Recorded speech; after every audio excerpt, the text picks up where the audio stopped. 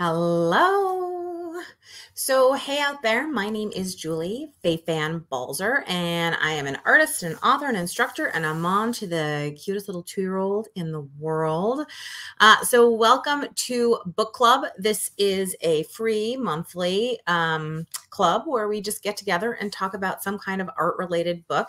This month, we are talking about Mixed Media Masterclass. Um, this is by Sherill Kahn, and this is an older book, but very much available. Um, it was written or published, I guess I should say, in 2013, which probably means it was written in 2011, 2012. And um, because it's an older book, you've probably seen a lot of the techniques that are in here. This is definitely, if you're a technique junkie, this is a technique junkie book. There aren't really any projects in here. It just sort of jumps tech technique to, to technique. And Sherill Kahn's work is beautiful. And there's lots of great big photography in here. That all of that said, the short sort of review that I'm going to give you is that you're not going to actually learn to make any artwork like she makes. She kind of more takes you through her techniques. Um, and she also, I'm not 100% sure that it's super for beginners because I found the instructions a little bit light, but I could be wrong. So chime in if you've read this book, if you know this book. I can see I have a couple people popping in to say hi. So, hey, Polly, thanks for stopping in. And hi, Susan. Uh, and everybody else out there too. Um, feel free to chime in with your thoughts on the book and anything else you want to add. But I figure we might as well get started because I got a big pile of samples here. I spent the better part of a week making all kinds of samples, uh, and I didn't even do every technique in the book. So let's go ahead and get started. Hi, Carol. So I'm going to add in here. Uh, Kathy Berg says that she just ordered it, which is always nice to hear. And Chrissy saying hi, and Sherry saying hi from Washington State. Hello. Okay, so mixed media master class. Uh, this is, as you can see, in a very attractive book, totally nice looking, which is always nice to see. Um, and when you go inside, one of the things I found the most interesting is that she uses really only one single two page spread. And in that single two page spread, what she does is that is where she absolutely does the most um, just going over the supplies. Like this is kind of it. There isn't like a really extensive supply list. And the good and the bad of that is that um, you don't really have to use everything that's here, but there are also a lot of supplies. So if you're a hoarder like me, you may find that you have a lot of supplies. So hey, everybody out there. Um, Nancy Wilkinson says she has had the book for years and she loves it. Donna said she read a great, a good portion of the book and she found some of the techniques interesting. Always good. Interesting is a funny word, isn't it? Sometimes I can mean a lot of things when I say interesting. Okay, so let's just jump right in. So cheesecloth is the first technique that she shares. And you can see that she has a very loose weave cheesecloth in a lot of these images, particularly like right here. And this is a good example of the kind of illustrations. So I ended up buying a very high quality cheesecloth, according to the Amazon reviews, which is uh, kind of problematic because it doesn't have that pretty loose weave. So here is the nice high quality cheesecloth that I bought. And so again, you can see it's a much tighter weave than what she showed. So you probably want to buy some cheaper, um, sort of not as nice cheesecloth. This is just a technique of sewing it on top of a piece of tissue paper. And then there's another piece of paper back here to sort of play with the transparency. And then I did some paint splatters on top. Um, in these two samples, I was just playing around with the idea of either putting the cheesecloth sort of flat on it, and you can see right there, right? This is the paper, this is the cheesecloth, so that's the kind of texture it adds, a little bit like burlap or something like that. Um, and then this is the idea of gluing it on kind of wrinkly to give me some texture. Now, this isn't actually something she really talks about in the book. But, you know, from experimenting and experience, having worked with cheesecloth and other things before, I know that that can be a really fun way to work with textured things because this is a nice solid surface now that the gel medium has all dried. Um, so Carolyn says, I agree with your thought that it was low on the actual instruction value, but it was filled with great ideas. 100%. So who is this book for then? And again, like this is the instruction One, glue cheesecloth to the chosen surface. Two, paint the cheesecloth with liquid paint or dye. Three, add embellishments as desired. So I think this book is for someone who maybe is not a super beginner, who already has a lot of supplies, who's looking for like a couple fresh ideas. Because, like Carolyn says here, it was low on actual instruction value, but filled with great ideas. I think that's a really good way of putting it. And Kathleen says, I read every word in the book and enjoyed it. But yes, very techniquey and beautiful. Totally, totally beautiful. Okay, so that's some cheesecloth. I'm going to start a big pile on the floor over here of uh, samples as we go through. Um, then cloth paper is something that was really big 10 years ago when this book was written. And in fact, oddly enough, I actually I have a monthly membership program. And in my uh, membership program, we actually did cloth paper a couple different times in the last like maybe three or four months, which I thought was funny. So this is actually a sample that I made during a um, member live stream. So you can see like this is sort of a paisley fabric that I didn't love. That's kind of the back of it. And what you do essentially is you glue paper to the top of it, tissue, all kinds of stuff. You can paint over it, which you can see I've done. You can stamp over it, and it becomes this kind of really hardy. It's fabric, it's paper. You can use it, you know what I mean, to like um, cover a book. It's um, hardier than fabric, but it's stiffer than fabric, or it's hardier than paper, but it's stiffer than fabric. Um, and you can see, right? You can collage in. I have some jelly paper. Looks like there's some book pagey things. There's definitely some tissue paper in here. You can even use um, heavier papers if you want to, but it's a nice kind of like mixture again of paper and fabric. And again, it's called cloth paper. You can get the instructions in the book, or there are actually tons and tons of YouTube videos. I also, obviously, you can get the instructions in my membership too. Uh, and you can see that uh, Donna here says, I think it is a good springboard uh, to then use the info as you see fit. I think that's a great point, especially since she doesn't really tell you how to make the art that she makes. She's just showing you the techniques that she uses to make like the materials that she uses to put it together. Even in some of her samples, um, she'll have multiple things that she's doing. So here's a sample, and it says this composition was created by collaging a series of papers, including cloth paper and deli paper, to a piece of illustration board um, I coordinated the design by layering diluted acrylic washes, which you can find on page 35 over selected areas. I used various colored pencils to emphasize areas and create a stronger composition. After the painted drive, the colored pencil areas then stand out. Uh, that stand out are the strong red orange areas. So it's not really telling you how, but it is giving you some information of how she's like combining the techniques. So again, not going to take you through a project, but lots of great ideas. And again, as Donna says, there are no wrong answers. Well, unless it falls apart. And then you can make something new out of it, right? Um, so Kathy's asking, what would you use the cloth paper for? So like I mentioned, um, I've used it in the past for covering um, book paper, for covering like books, like the cover of a book. You can use it, um, you know, for the spine of a book. I think it's really useful in book binding, but I think other people use it for all kinds of things, decorative uses. You can certainly use it like collage paper. It's just, you know, it's fabric paper. So it's kind of a mixture of the two. Okay, so next up, um, this is a technique she was saying where she puts copy paper underneath her fabric while she paints, right? So basically, she's painting fabric and then the it's leaking through. So like on my work surface, you can see this happens to be a Teflon sheet, but underneath I have a piece of paper, and if I were to flip it over, you'd see right that it ends up getting all the stuff that I'm kind of been working on. So I think this is a thing that we've all been doing, but nonetheless, I decided to be a little more purposeful about it. So he painted this piece of fabric I had, and I put two pieces of paper underneath it. And so now uh, you can actually really see, right? This is the paper that was underneath this fabric while I was painting it. And now I have both the painted fabric and the painted paper. So just a reminder at all times that whatever's underneath is worthy of keeping, which I think is an important thing to say. Okay, so um, copy paper texture. At the beginning of the book, I really did do every single technique because I was really interested in what was happening. And then I kind of fell off at the end. By the way, here are some sort of less pretty examples of times when I just had the copy paper underneath whatever I was working on. And you can see sometimes it's great and sometimes it's nothing. But all of this would make really fun collage paper too. So always a good technique. And copy paper is definitely cheap and easy and it collages really well. I've been using a lot of it in my artwork.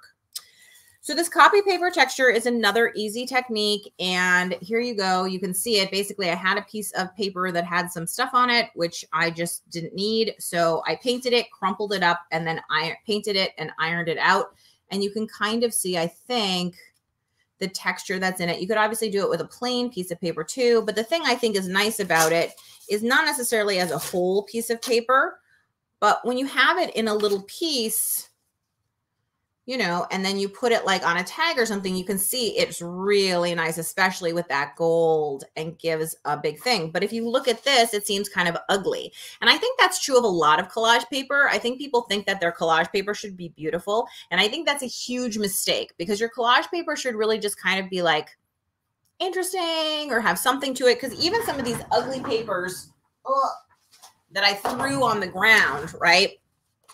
if we wanted to really turn this tag into some kind of work of art, you know, there's some lovely stuff in here that we could use. It's just a matter of sort of limiting what you're seeing so that you're not seeing all of it, right? But now that becomes really interesting. And could we not, you know, steal a nice big piece of color from here, you know, and suddenly with a little bit of stitching, this actually becomes really attractive when it looks like it came from a bunch of garbage. But the problem is if your original papers are really beautiful, at least my experience is the composition usually doesn't work because um, instead of making something that's greater, you're sort of stuck staring at the original pieces. That's kind of the way that I would put it, you know?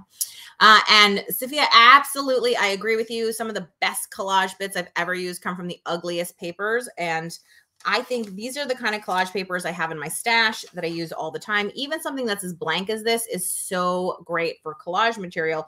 You can always end up adding into it or cutting out of it. And even the texture that you get from paper that's been wet, I think is really cool. So something to think about. I might kind of keep this. I kind of like this little tag now. I think it's really, really pretty. Okay, let's put that to the side and maybe keep it. Uh, okay, so the other thing I was going to say about this, um, oh, I also wanted to bring up Sherry's comment here where she says it's amazing what happens to ugly paper when used in another art project in pieces. 100%. These reminded me of kimonos. I don't know if anybody else can see that, but just I think that sort of T structure a little bit.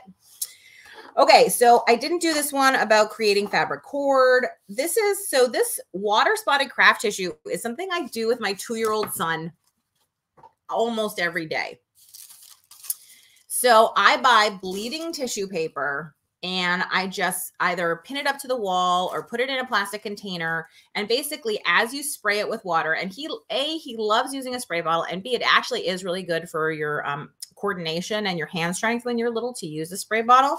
But you can see like if it's been hanging on the wall, it gets the vertical drips from where there was an orange piece of paper on it. If it's laying down in like on a um, Teflon mat or anything like that, this is where like a black piece was laying on top of it and it just starts to stain in color. And then when there was water just on the blue, you can see it sort of removed the color.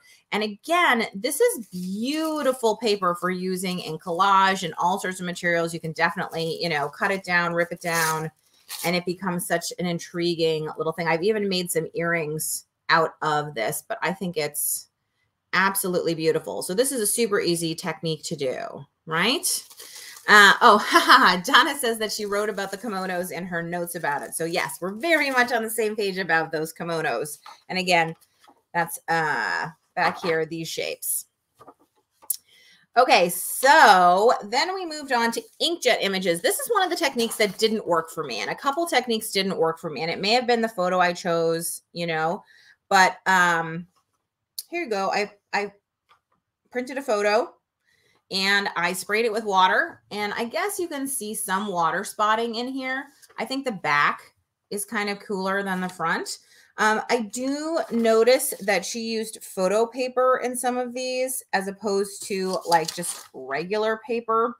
Um, but what was interesting is she didn't say anywhere that it had to be on photo paper. And this is what I mean about light on instructions. I can see that this says these pieces use digital images on photo paper sprayed with water immediately.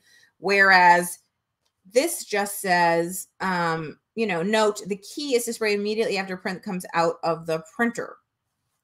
And then it just says spray water on fresh ink, ink jet print and allow to dry. So I don't know if it would have worked better if it was on photo paper and been more sort of abstract or if she started with images that were already more abstract or what. But this wasn't great. Although I will say again, like I'm pretty sure I could, you know, cut something out of this you know, and that might be a pretty piece. Again, I like the back better than the front. Maybe put it with this water spotted paper, you know, and that might be a pretty piece for collage. But again, I also don't think like every technique has to work for you. Another option I did think about is printers have changed over time. And it's possible that inkjet printers were way worse in 2013 or when this book was written 2012 2011 and that because inkjet technology is better, the it they don't run as much. I don't know. I don't know. Um, Carolyn does add that the water spotting didn't work well for her. I also thought the back of the paper looked more interesting than the water on the actual image. 100%. Uh, Sophia says, What would you use to collage the tissue paper with, given it's so super reactive to wetness? Oh, I just use matte medium and like it it runs a tiny bit, but not so much that it bothers me. Uh, do you paint on the bleeding tissue before putting to the wall and then spray with water? No, it's literally just pieces of tissue paper that you spray with water. Literally all it is. You just take a bunch of tissue paper and spray it with water. So nothing fancy about it whatsoever.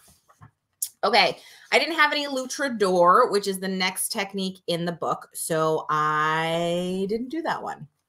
Um, and then I have I've used transfer artist paper before, and so I didn't feel the need to do it, but it's a great way to do an image transfer if you're interested.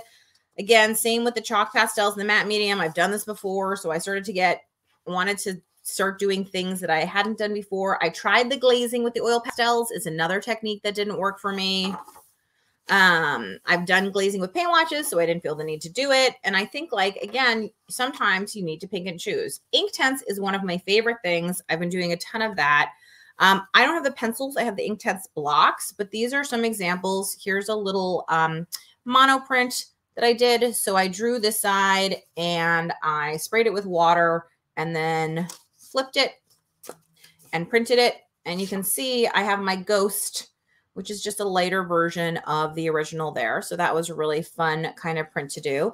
And then in this one, I tried to follow her instructions where she was telling you to put gesso over it and do whatever else. And I don't know. I think, it, I mean, it is what it is. But Inktense, if you're interested, they're really fun to use. And again, that's something that I have been doing in the membership. Um, we've been doing a lot of stuff with Inktense lately, sort of coincidentally. Okay, water soluble markers. This one was fun. So I drew with some water soluble markers onto fabric. One of the things I really did appreciate about this book so much is that so many of the techniques can be done on paper and fabric. And I think that's great because it makes you realize that paper and fabric are not that far apart. It's not something special to do.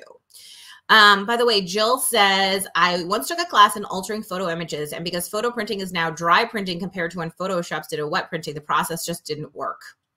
I believe it. I believe it 100%. And Sophia says, uh, Oh, I love the monoprint idea with the Inktense. I have the blocks too. Definitely going to give that a try. Good. I hope you will. It's lots of fun. So here you can see that I drew, by the way, I am going to actually show you some techniques, but I picked out my one, two, three, four, five, six favorites. And those are the ones I'm going to show you. Okay. So here you can see I did some just drawing and doodling with water soluble markers. Then I sprayed it like crazy with water. And I actually also put another piece of fabric underneath it when I sprayed it so that the color sort of wicked out and went crazy. You can see a, few places where the marker still exists. And then I also got this secondary piece of fabric from underneath where some of the color transferred out. So that's kind of a nice one. Although again, because this is water soluble, this isn't a fabric that you can wash or do anything with because the it's just going to come right out. But you can certainly use it for a dry project that's going to go on the wall or something like that. Um, then we got into resist. I love resist. This is a crayon resist, super simple. You draw with a white crayon, just like on the Easter eggs, right? And then you just put paint over it and the crayon resists that too, which is really cool. Uh, Sherry's asking what kind of fabric is that? So for all the samples that I did, I just used muslin. Nothing fancy, just a cotton muslin, super cheap, super easy. Okay, and then this is, I try to crayon resist by rubbing on top of a foam stamp and you can maybe kind of see the foam stamp but it didn't work as well as I would have liked. Then I tried the crayon rubbing using a um, stencil and that worked a little bit better. So that's kind of another cool way to do it. Then I tried a crayon rubbing using a rubber stamp and it was fine you know, again, like not as great and distinct. It's a very soft result, which, you know, is fine. But then I saw this, which I had never heard of, which is a glue stick resist. So this is the glue stick resist. And if you compare the crayon resist and the glue stick resist, it's kind of amazing, right? The glue stick is so clear. So I thought I would show you how to do that. So I have a small piece. Again, this is just muslin, cotton muslin, nothing fancy. Okay. And I have a rubber stamp right here. And I have a UHU glue stick, which happens to be my favorite glue stick, but I think you can use any glue stick, frankly. And then I'm just going to rub across the top of this with the glue stick.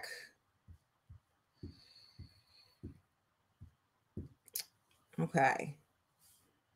And then I'm just going to move it because I have a big enough piece of fabric and try it a second time. I'm getting a lot of glue off this stick.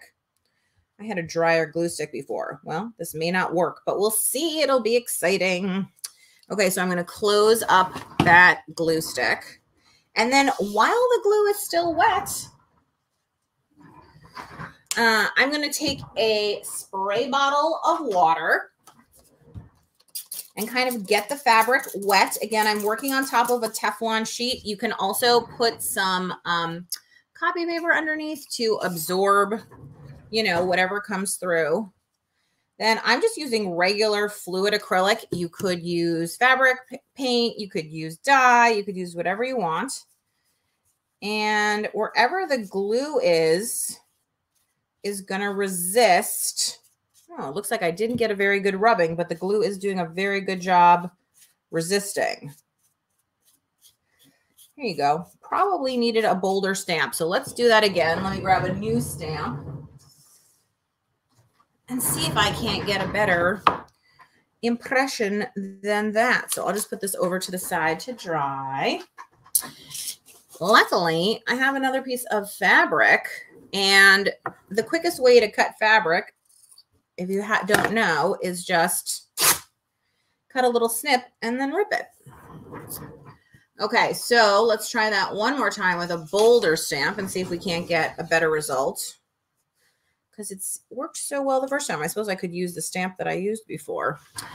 But where is the fun in that? Okay, so again, I'm going to rub with the glue stick.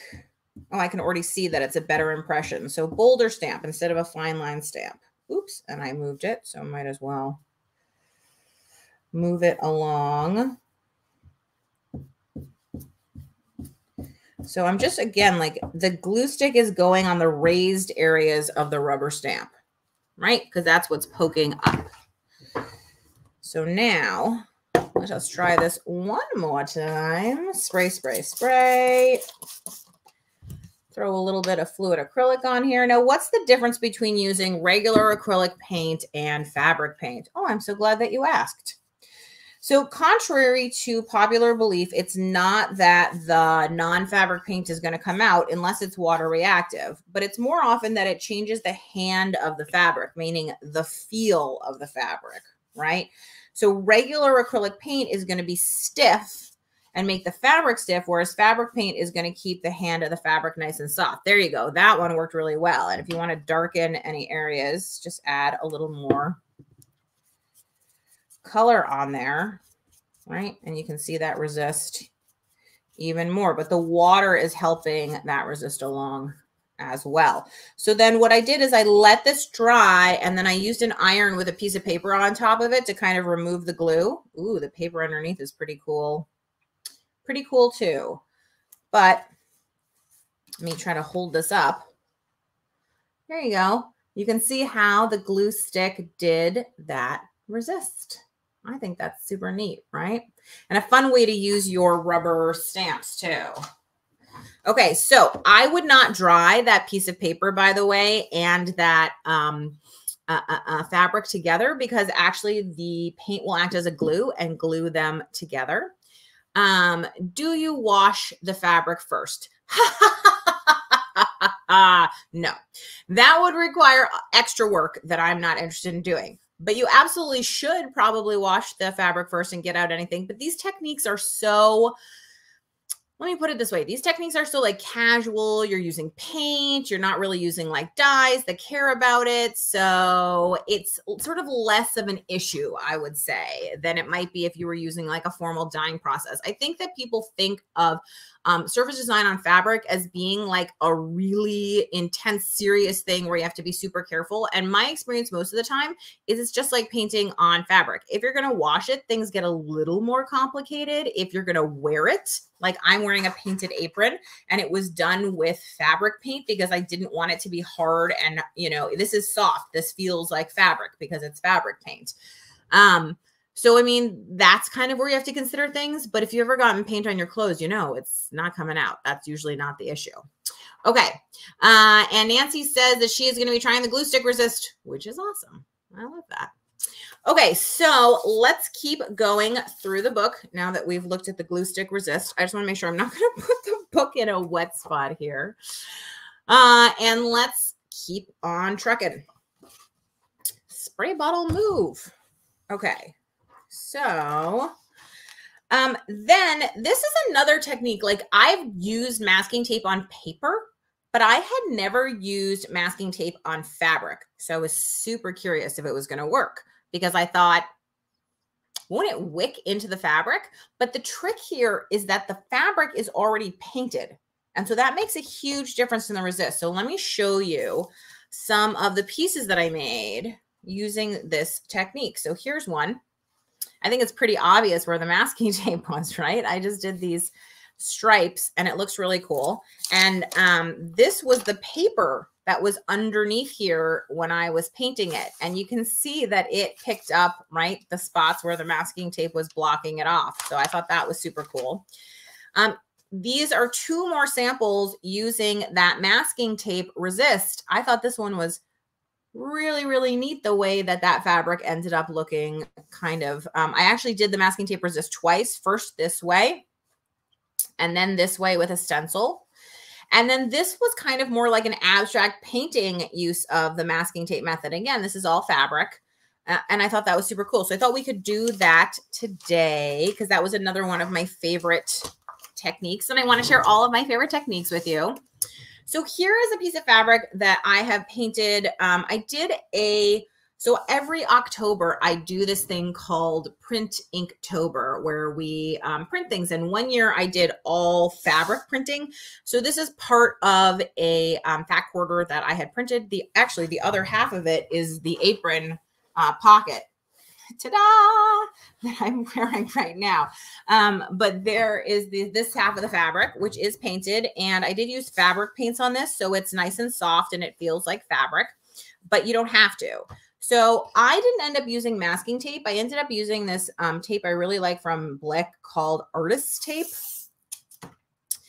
And what I think is really cool is that it's super slick and water resistant. And the other thing is like I found, let's say you don't want everything to be the same, right? The same. Well, you just add another piece of tape on here and pretend that it's just fatter, you know, and you could also cut the ends so that they were even instead of ripped, but I kind of like that ripped look.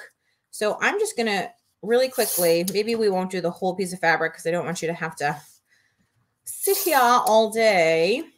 Um, but I'm just going to put a bunch of sort of exes on here. All my exes live in Texas. Actually, that's not true. All my exes live in New York City. Okay, so I am going to keep moving this around and just, you know, you could do any pattern. You can be as creative as you want. You can make it as random. You could take a lot of time and cut some like pretty shapes out of it. But the idea is that anywhere that you've put the tape, no paint is going to go. So again, anywhere you've put the tape, no paint is going to go. So let's just do half to speed things along here a little bit. And let's again get some, I want to do some kind of a contrasting color maybe here. Let's see what, let's see what we can do. This is kind of a transparent paint, so I may need to, I need to need to amp it up, but let's see what happens. So I'm going to put out the paint. I'm working with a wet paintbrush. And at first I did worry that a brush would then like wick into the fabric, but it doesn't doesn't seem to, at least from what I can tell. I think that's still going to be too transparent for me just looking at it right now, but maybe not. And I am going to put a piece of paper under here because, again, I like that secondary thing that I'm getting. Let's put another color in and then maybe throw out some thing a little crazy like this purple. And again, just throw it out, throw it out. So again, so many of the techniques in this book are not hard or complicated. They're actually quite easy and enjoyable.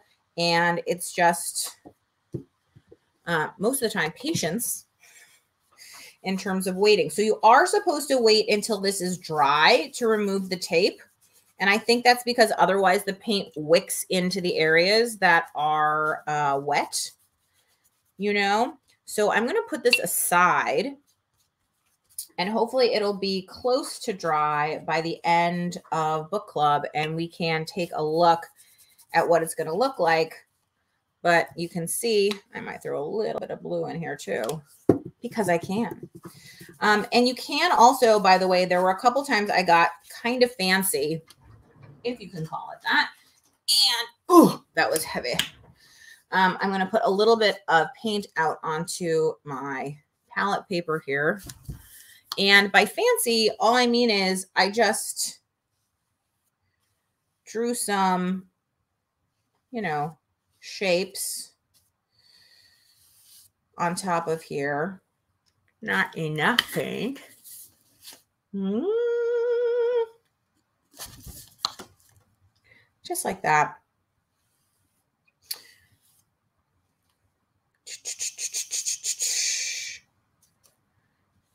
Doink, doink, doink. Okay. And you could keep going and you could do splatters. Let's see. Splatter, splatter, splatter, splatter, splatter, splatter. Um, you know, doing whatever you want here. But let's put that aside to dry for a little bit and then see. I can't stop. I can't leave it alone. This is my whole personality problem. Uh, and then we'll see what we get in a little bit. So let's see. I've got wet things all over the floor. Oh, I already lost a piece of tape out of here. Here we go. What is one more wet thing on a pile of wet things when you really think about it? Okay. So, uh, I'm going to just wipe this up and then we'll take a peek at that. If I forget for some reason, because, you know, uh, I tend to do that, uh, just yell at me towards the end to double check how that one is coming along. Okay. I think we're dry and clean.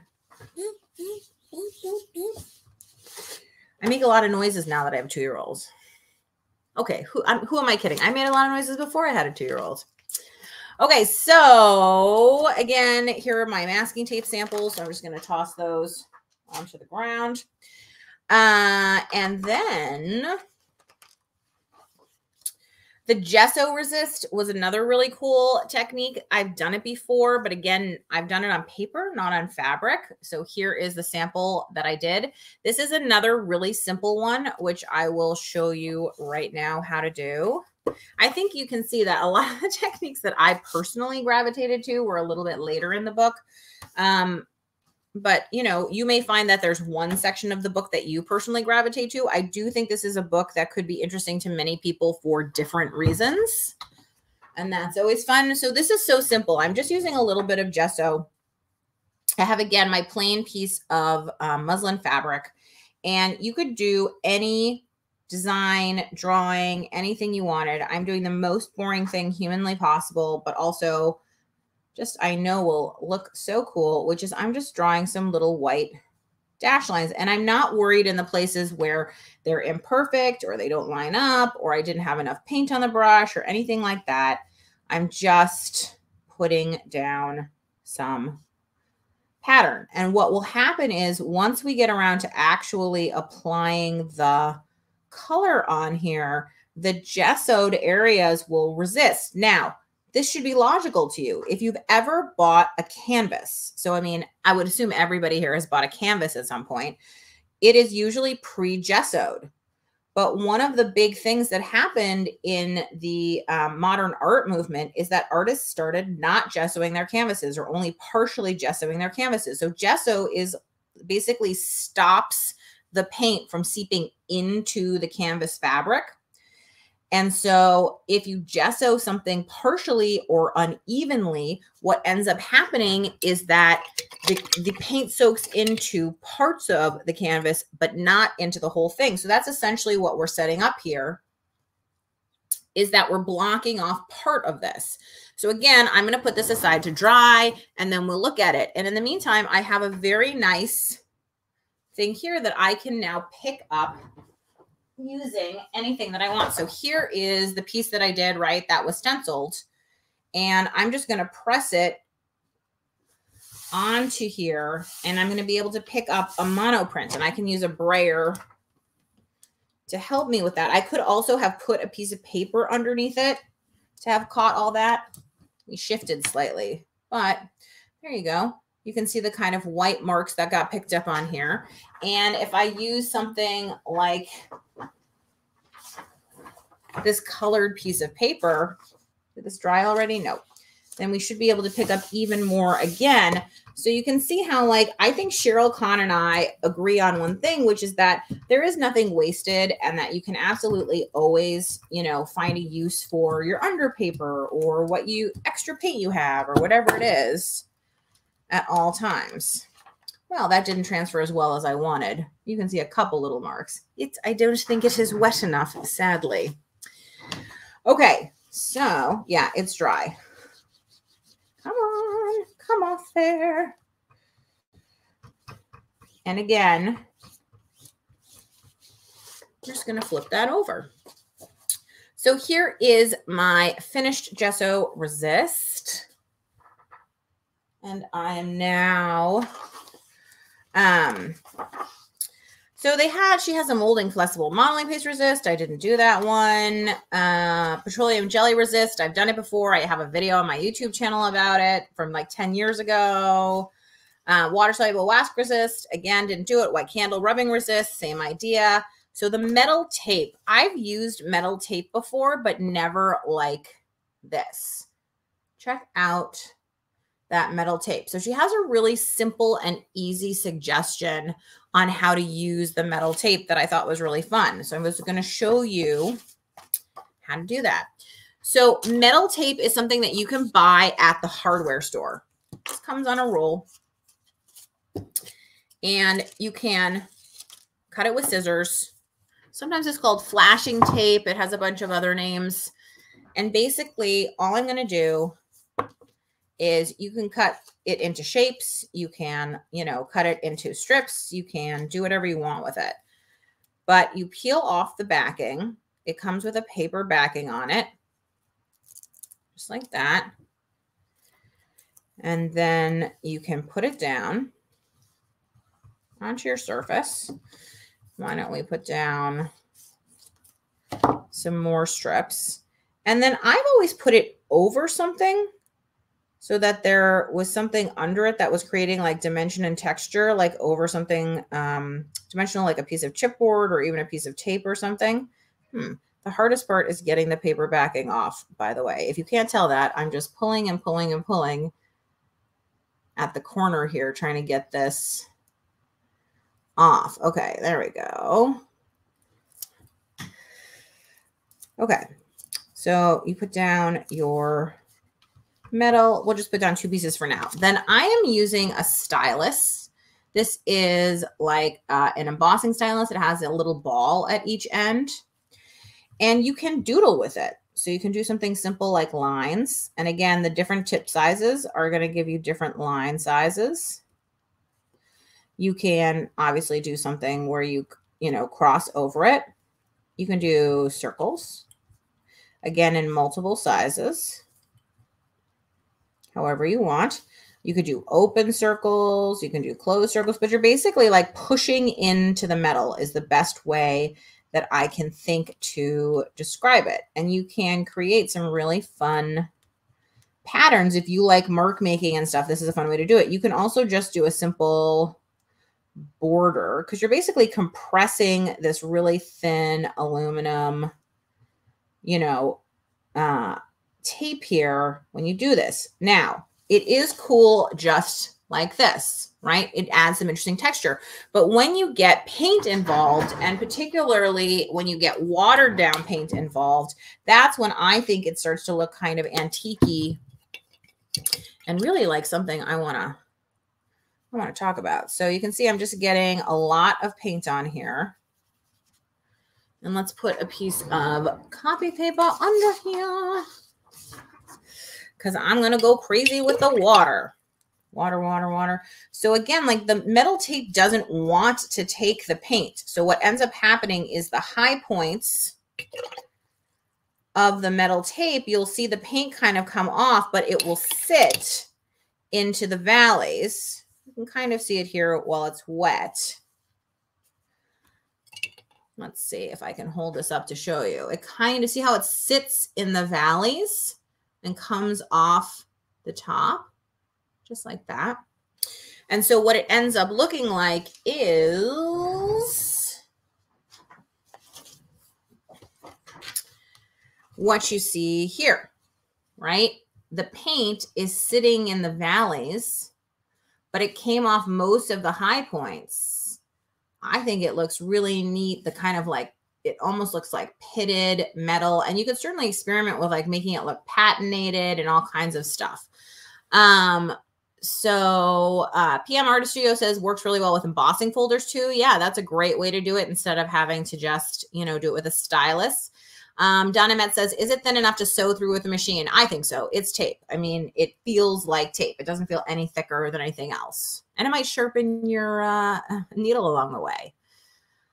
So Kat says, could you use aluminum foil? How fragile is the metal tape? I mean, this is metal tape that's used to repair like pipes and stuff like that. Like it's it's right. So it, it's definitely thicker than aluminum foil. Honestly, it's not that expensive, and I think I mean you probably could use aluminum foil. I don't think it would work exactly the same. The adhesive on the back is helping a lot with in terms of keeping the impression and having it not rip and stuff like that. I don't think it's worth doing with aluminum foil, but give it a try. Um, and PM Artist Studio suggests that you could use yogurt tops too, like the metal foil. I'm assuming that comes on the yogurt tops too as well. Um, I did not blot the tape after painting. I just let it air dry. So just depending how much water you add onto it. This is also watercolor paper as opposed to a tag, which is what I was doing in the demo. And so the watercolor paper absorbs a lot of the paint in a way that the um, tag doesn't, right? Because manila is not as absorbent. But even just this short drying time that it has had, if you look, it's already started to wick away from the top of here and it will continue to do so as it dries, right? Because that metal tape doesn't want to take the paint. It just, it sits in the crevices because they're holes, basically. They're craters. Okay. So, uh, so that's metal tape. Again, cool technique. Then uh, rubbing alcohol, I've used before, didn't feel the need to do it. Paint scraping, same thing. One of the things she suggests is mixing hair gel with your paint. Um, this is one of the few projects. It's called Make a Folded Book. Although I have to tell you, I thought it was really weird that if you do the folds according to this picture, you end up with a book where the cover opens backwards. I guess maybe you open it from this. I don't know. It just seemed weird to me. Uh, and then um, PM Artist Studio says if you lightly sand the tape, it will take more paint. Yes, I've done that. And also, it's interesting because if you sand it um, before, it takes more paint. But if you sand it after, you can actually sand away like the design, which also leaves an interesting result as well. Um, stenciling with oil pastels didn't work for me. I gave it a try. Uh, the wet into wet fabric just is like wet into wet watercolor and you end up with fabric that looks like this. You can see it's very pretty. It's just letting the water kind of run all over here while you're um, mixing the colors together. Um, so that is a very cool and easy technique. Uh, the wet into wet pole wrapping, I didn't try, but this is a technique out of Shibori. So that's another fun one that you can do too. Wet into wet photo paper. I think we're talking about different kinds of photo paper, frankly. Um, wet into wet with salt, watercolor technique again. This is a bunch of different kinds of rubbings that you can do. And again, I think Sherill Kahn's artwork is really beautiful and lovely. Um, so she shows basically the basic rubbing technique in here and then talks about some other ways. I did try this version of ironing the heavy oil pastel rubbing. It didn't really work for me. This is the result and I didn't love it. Then I also tried this technique of using this Dorland's wax. I bought the Dorland's wax and I tried it multiple times, multiple times. And these are the results that I got. There are some places where you can maybe see some of the pattern. I see a little bit of cross hatching in here.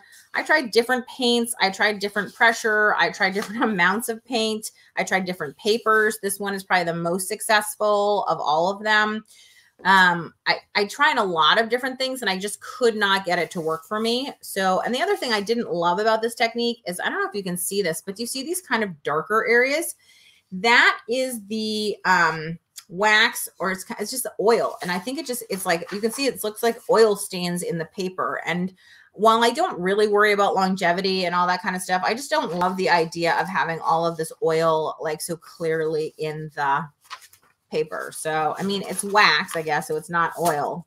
Maybe it is oil. There's probably oil in the wax because it actually like never dries.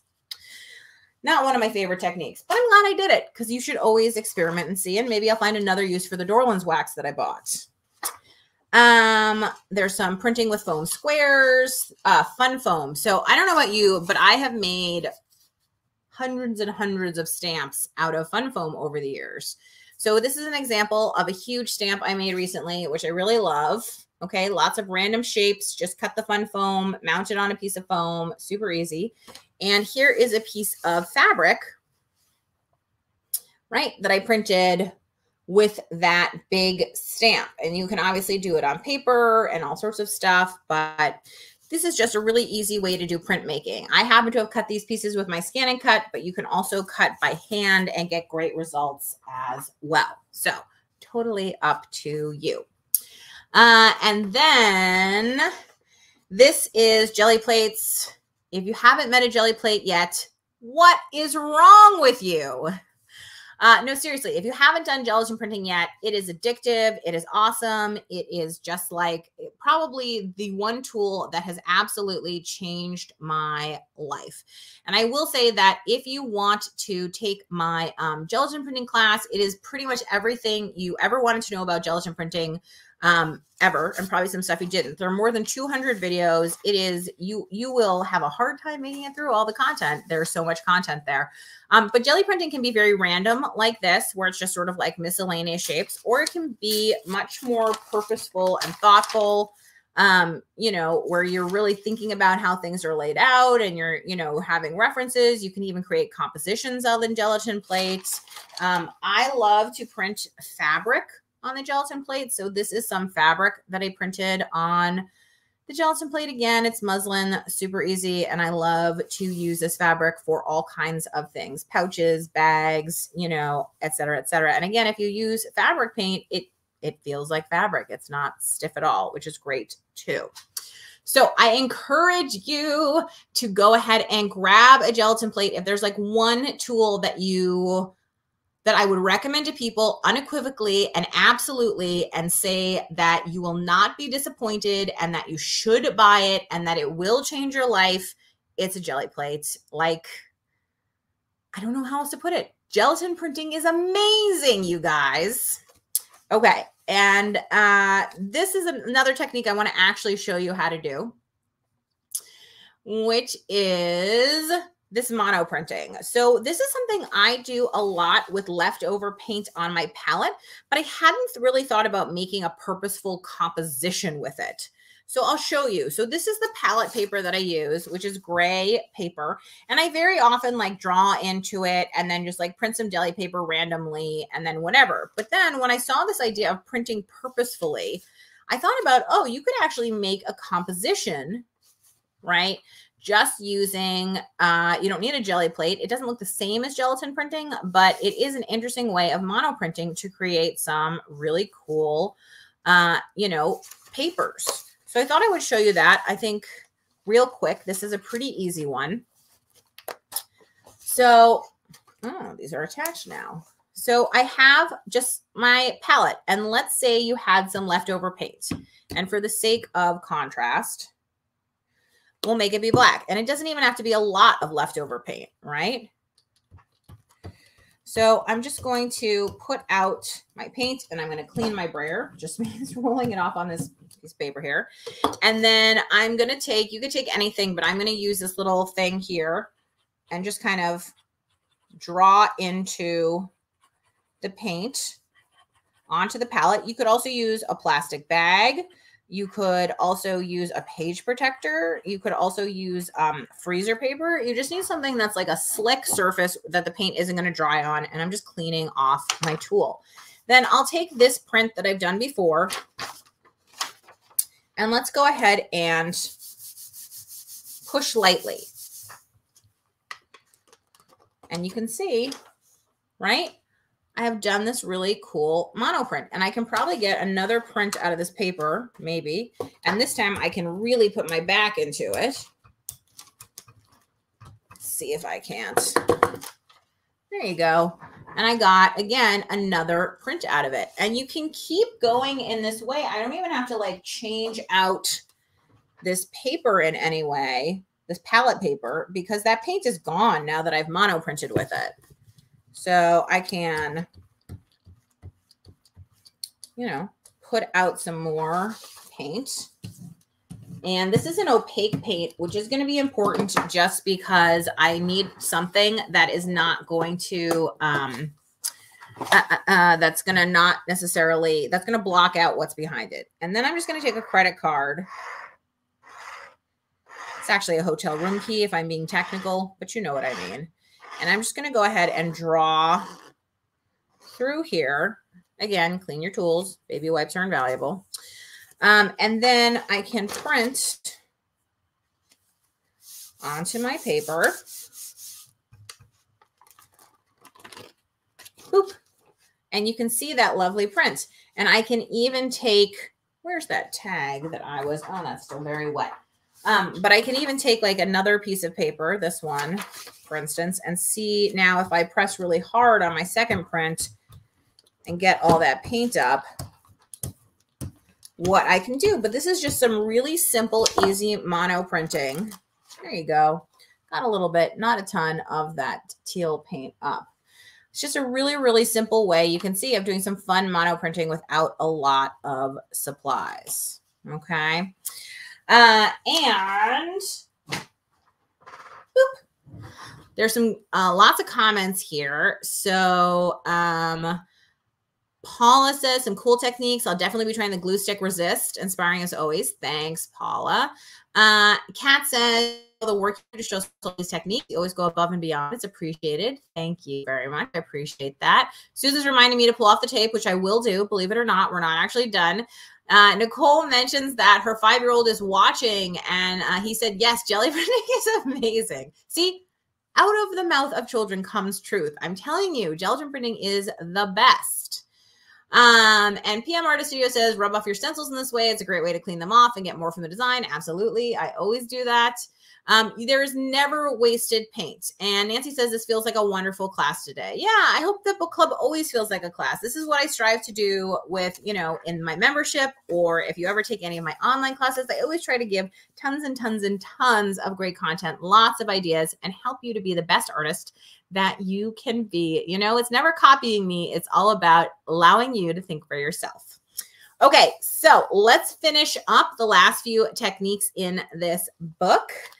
And then we will do some reveals of some stuff that's sitting on the floor here. So um, the Inktense mono prints, again, I've done it. They're great. I love Inktense. This is rubber bands. And I did make two um, stamps with rubber bands and fun foam. And here is some fabric that I printed. Um, I used this one and then I just turned it 90 degrees to get the plaid. And then this one is the one where things are sort of crossed interestingly. And I did that with this. So that's fabric, easy enough to do with these little printing plates. So I liked that idea a lot. And then um, she goes through rubber stamps. I think we've all used rubber stamps a lot now, so probably very aware of that. This is the book that she showed the basic form for earlier. Um, paint and hair gel, it did not do that. Silk screens, I love silk screens. I've taught classes on screen printing of all kinds, all these different things. Thermofax prints. So here are a couple Thermofax prints that I did. These are some really messy sort of pick up after prints. Um, this is a Thermofax print you can see with hot pink screen printing ink onto some colored paper. Here I did it um, some Thermofax printing onto fabric. I think this is my favorite. Great piece of fabric. Um, this is some more Thermofax printing onto paper or onto, onto fabric rather. This is Thermofax is a kind of really easy screen printing if you're wondering what that is. This is more Thermofax printing. This is Thermofax printing and gelatin printing combined together. So you can see that you can mix them up. Um, I had a little book that I had demoed how to make during a member live stream, and I just added a little bit of, um, again, Thermofax printing straight into the book, which I thought turned out kind of cute. I'm not sure if I have any anywhere else. So that was great. Then by Funny Happenstance, I happened to uh, have made a video on styrofoam plates about a month ago. These are what they look like. You can see that using scratch foam. And then this is some paper that I made using this easy, easy plate. So super duper easy. Um, and then she does have in the back of the book, just so you know, something that says putting it all together. And she sort of takes you through like all the different ways that steps that she's using to make this finished piece. Some of them, again, like I don't think it's particularly instructional, but it does let you know like how many steps she's doing to get there. She's saying 29 steps, right, to get to the finished project. You're probably not going to make this exact project um, but then again, some of her beautiful art decoded as to like which of the techniques she's using. So you can kind of figure out some things based on that kind of um, key. But beautiful texture. I mean, I love the stitching in this too. Just really, I want to dive into that. And then you can see, you know, this piece includes and it lists kind of the things that it includes. So um, Sherry's asking, what kind of brand of fun foam do you recommend? And there's no particular brand. I haven't found a huge difference. I just go on Amazon and buy whatever is cheap in terms of fun foam. And I don't buy the stuff with adhesive on the back because I find that that's not really good for making stamps and stuff like that. So that's the only caveat I would say overall, my thoughts on this book are what I said at the beginning, which is lots of great techniques and ideas. I have a huge pile of stuff here. I am going to show you both the gesso resist and the tape reveal. Um, but you know, again, maybe not a book for super beginners. Great if you already have a stash of supplies and you just want a couple extra ideas. I do think you'll probably have to YouTube a couple things because she doesn't go super deep and like gelatin printing is like one page and it really could fill like a hundred books you know screen printing is like three or four pages and there are entire books dedicated to it so again it's a great taster is what i would say Okay, so this is the gessoed fabric. So let's just take a look at how easy this is to do. Again, I'm just grabbing some printer paper to throw under here. And this is Mm, not totally dry. If you can see my finger, this is not totally dry. So you would ideally have this be 100% dry before you did this. But you know, if wishes were horses, I would have a stable with a million horses. So all I'm doing is just painting over this. And you can see that where the fabric is gessoed, it's absorbing the paint differently than where it's not, right? And that's where the whole resist idea comes from, is that it's creating a different a barrier. And so again, I'm just going to apply that paint with a wet paintbrush through here. And you don't have to use a ton of water, but it does help the paint spread through the fabric a little more easily if you do. So if I painted out this whole fabric, you'd see that you would really get that two-tone effect of this coming on through, okay? Um, Carolyn mentions that she recently made her own stamps using the thick pop fun foam that she got at Joann's yeah, you can use any fun foam will work 100%. Okay, let's look at ooh, this fabric. It is still very wet, FYI. Like not a little bit wet, but like soaking wet. So we'll see how this goes. But pretty crisp. Boop, boop, boop.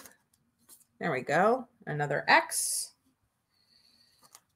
another X, another X. And I think the amount of crispness has to do with how much water you use when you work into it. But there is my